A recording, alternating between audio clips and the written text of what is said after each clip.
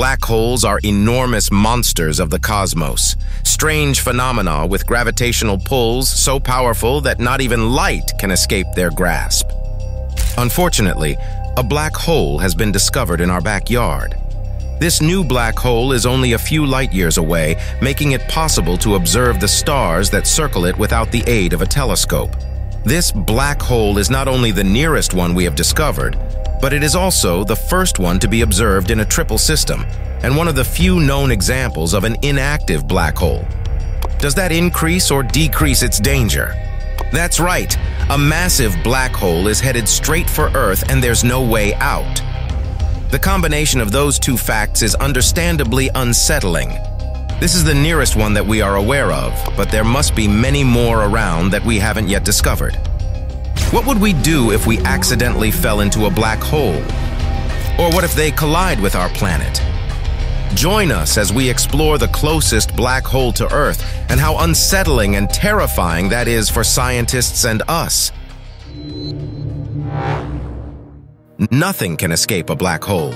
Its gravitational pull is so strong that even the brightest of light can't survive, which is exactly how the interesting spectacle earned its name. The implosion of a massive star at the conclusion of its life is theorized to be the origin of black holes in space. Even though there are millions of them, scientists often have trouble spotting them. However, a major breakthrough was made when astronomers borrowed some methods from exoplanet searchers. A new black hole has been discovered. Astronomers have discovered that the closest black holes to Earth could be lurking in the Hyades cluster, which sits only around 150 light-years from the Sun. These black holes may have been cast out from the star cluster millions of years ago, leaving the stars to their own devices. This would still put them within a distance of around 10 times that of the black hole formerly thought to be the nearest to Earth. The Hyades are a large open star cluster in the constellation Taurus. This cluster of stars is an open cluster, a group of stars that originated together out of the same giant cloud of gas and dust.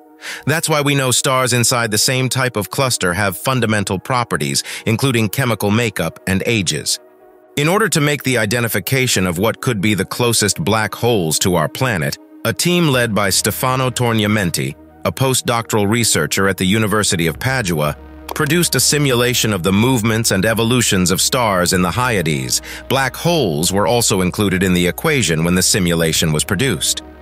The scientists then compared the simulated velocities and positions of the open cluster's star population with those obtained from previous measurements. The Gaia Space Telescope is responsible for the later dataset. Torniamenti and co-workers discovered that models including two or three black holes inside the star cluster were most consistent with observations of the Hyades. Gaia data also agrees with simulations that include black holes in the star cluster, which were likely expelled no more than 150 million years ago.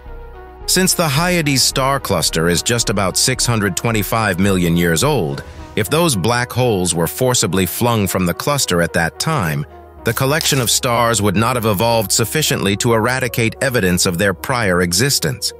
According to the researchers, even if the black holes were kicked out of the Hyades by now, they would still be the closest black holes to Earth.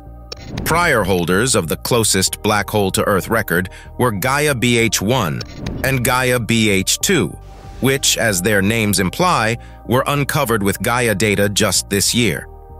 The distance between Gaia BH1 and Earth is approximately 1,560 and 3,800 light-years, respectively.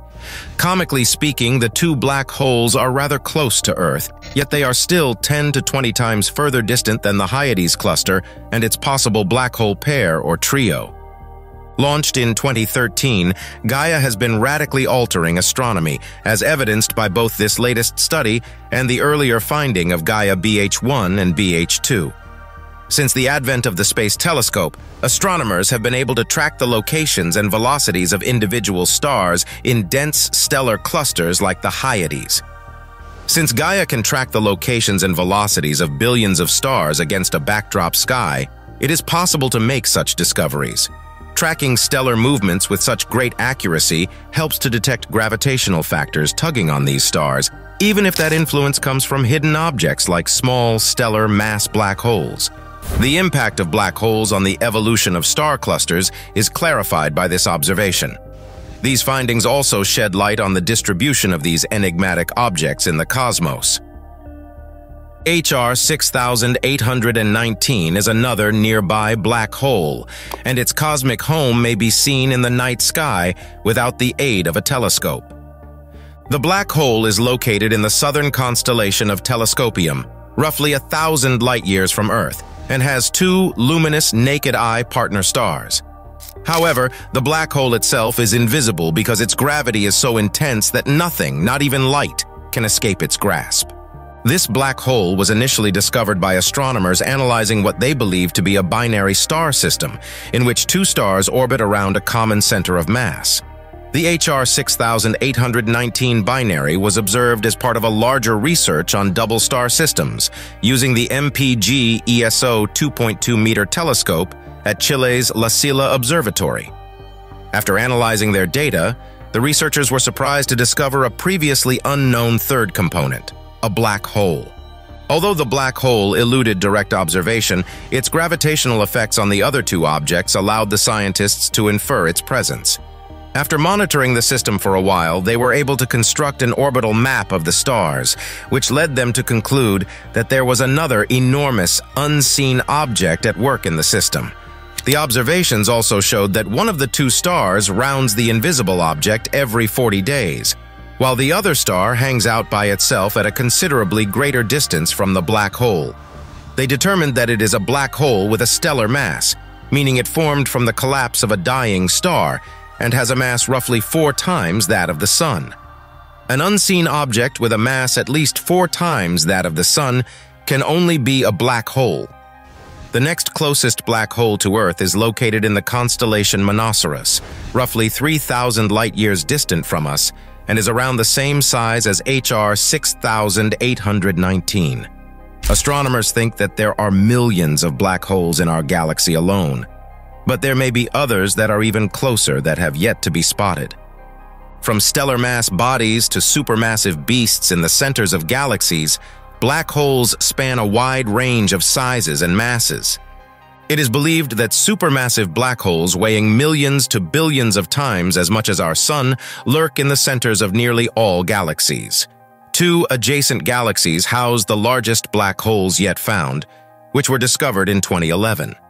The central black hole of NGC 3842, the brightest galaxy in the 320 million light-year away Leo cluster, has a mass of 9.7 billion suns. NGC 4889, the most luminous member of the distant Coma cluster, features a black hole of similar or greater mass. The gravitational range, or event horizon, of these black holes is nearly five times the distance from the Sun to Pluto. The black hole at the center of our galaxy, which has an event horizon a sixth the size of Mercury's orbit, is 2,500 times smaller than these. It's possible that the tiniest black hole found so far has a mass less than three times that of our Sun. This would place the black hole IGRJ 17,091-3624 officially very close to the theoretical minimum limit required for stability. Despite its small size, this black hole appears to be quite dangerous, as its winds may reach speeds of 20 million miles per hour which is approximately 10 times faster than anything measured from a black hole with a stellar mass. Anything that is unlucky enough to drift too close to a black hole is devoured, including other black holes. Recent observations have shown that the supermassive black hole at the center of one galaxy is being devoured by an even larger black hole in another galaxy. The finding is the first of its kind. Major mergers, which involve two galaxies of comparable masses, were spotted by astronomers, while minor mergers involving galaxies and smaller partners have escaped researchers for a long time. Researchers using NASA's Chandra X-ray Observatory found two black holes at the heart of a galaxy designated NGC 3393. one with a mass of around 30 million times that of the Sun, and the other with a mass of at least 1 million times that of the Sun, and both are only about 490 light-years apart. Although black holes have always been thought of as vacuums, recent research has shown that they can really eject matter. The black hole, H1743-322, located about 28,000 light-years from Earth, has been observed to have sucked material off a companion star and spewed some of it out as gigantic bullets of gas traveling at nearly a quarter of the speed of light. Its mass is estimated to be between 5 and 10 times that of the Sun. Officially designated as ULAS J1342 plus 0928, the oldest black hole ever discovered was born some 690 million years after the Big Bang that created our universe. This black hole's advanced age presents challenges for astronomers. It appears that the mass of this bright mystery is 112 billion times that of the Sun. It's unclear what caused black holes to grow so enormous so quickly after the Big Bang.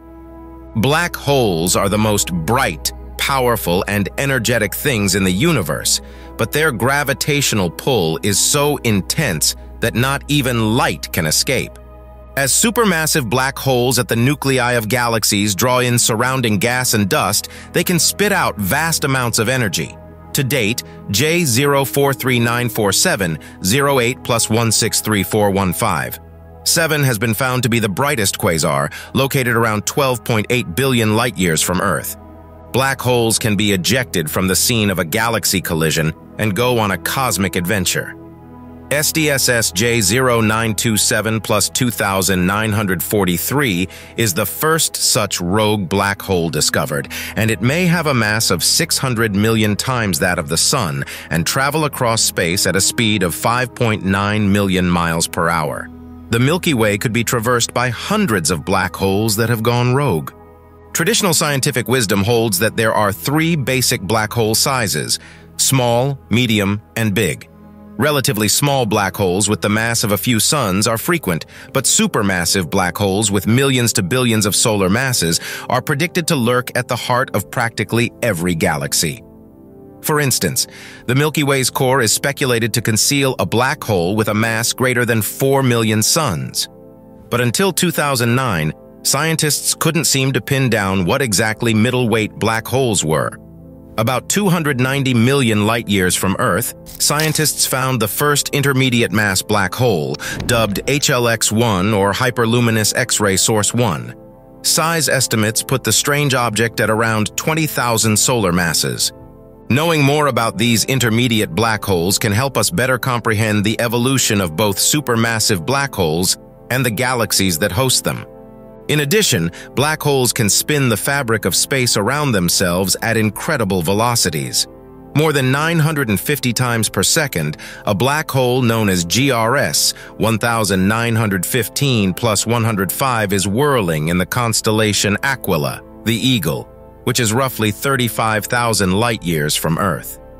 At more than 333 million miles per hour, or roughly half the speed of light, an object placed on the edge of the black hole's event horizon would spin around it. Even though black holes are quite remote from Earth, there are still many mysteries surrounding them that scientists have yet to answer. However, scientists are now attempting to replicate the mysterious qualities of black holes in tabletop models. For instance, black holes contain gravitational pulls so tremendous that nothing, including light, can escape after falling past a border known as the event horizon. Researchers have constructed a fiber optic event horizon in the laboratory. The so-called Hawking radiation that is expected to escape from black holes has also been replicated. More so, the monstrous black holes that are the loneliest may also be the hungriest. New research reveals that supermassive black holes at the centers of galaxies in cosmic deserts, where neighbors are scarce and stellar nutrition is scarce, yet manage to chow down on material more frequently than their counterparts in more populous sections of the galaxy. Over the past decade, astronomers have argued over whether or not galaxy mergers, like the one currently taking place between the Milky Way and the Andromeda Galaxy, are the primary triggers that remove material from galaxies and funnel it to the massive black holes at their centers. New studies, which detected over 20,000 hungry black holes in lonely slices of the cosmos, known as cosmic voids, suggest that these unseen creatures snack more often when there are fewer interacting neighbors to interrupt them. These results cast doubt on our standard model for galaxy evolution. These vast, empty regions of the universe are known as 3D bubbles of space and they can span over 500 million light-years in diameter. It is estimated that half of our universe consists of empty space or cosmic voids, which are home to 20% of the universe's galaxies.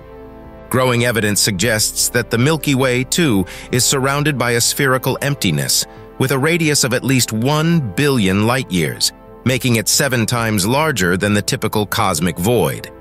The remaining 80% of galaxies in the universe are thought to be born in denser regions, where anything from 50 to 1,000 galaxies huddle together in galactic clusters. 80% of galaxies reside in denser regions of the universe, where they are close enough to each other to interact gravitationally and eventually merge. This is how galaxies get their raw material to fuel their central supermassive black holes the specific mechanism by which matter is funneled into the black hole, and at what point it begins snacking or munching on that surrounding matter, is, however, a source of intense controversy. The merger theory lacks a robust explanation of how black holes form in galaxies that are friendless in their cosmic vicinity and hence do not interact with one another, a process thought to be necessary to make star food available. To better understand the process by which black holes begin to eat, researchers have examined hungry, supermassive black holes in the most distant galaxies, or cosmic voids. If galaxies can avoid interacting with and being stripped by their neighbors, they will have a better chance of channeling that fuel toward the centers of supermassive black holes. Over 20,000 previously undetected actively feeding black holes were found by studying the brightness variations of roughly 290,000 galaxies over the course of eight years of data from NASA's Wide Field Infrared Survey Explorer Sky Mapping Observatory. Previous surveys of galaxy voids looked for objects in the visible or mid-infrared spectrum. The latter used detected light to classify the activity within galaxies. For example, blue light indicates vigorous star formation, while red light indicates emissions from a hungry black hole feeding on material. Star-forming vacuum galaxies, on the other hand, drown out the light from feeding black holes within them because of their own bluer light emissions. This is how they remained undetected in earlier investigations. Instead, this research investigated telltale oscillations in the brightness of infrared light over time that betrayed the presence of feeding black holes, whose activity turned out to be more common in small or mid-sized galaxies than huge ones, the team concluded. When smaller galaxies are isolated from their neighbors, they are able to nibble more efficiently. Now, aside from the obvious, have you ever considered what would occur if Earth fell into a black hole? Thanks to the online black hole collision calculator, you can now find out.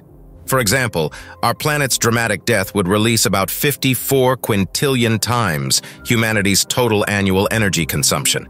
This is the equivalent of more than 500 septillion Hiroshima nuclear bombs. The black hole's event horizon, the point of no return beyond which nothing, not even light, can escape, would expand by only 0.0000000000728% if it swallowed our poor, beleaguered planet. It would be a supermassive black hole, comparable in size to the one at the center of our galaxy, Sagittarius A star. What if, however, we encountered a black hole with a mass of only 20 suns? Well, then we'd make more of a dent, creating 0.000014562% event horizon growth. There are countless black holes in the universe, and they don't aimlessly devour planets. Like all other things in space, they are subject to the pull of gravity. Even the largest black holes, which are considerably more powerful than the Sun and are aimed directly at Earth, pose no danger, for now. Fortunately, we are not in danger, but black holes may nevertheless have an unanticipated and distinct effect on us. However, let's just concentrate on everything that is occurring on Earth in the interim.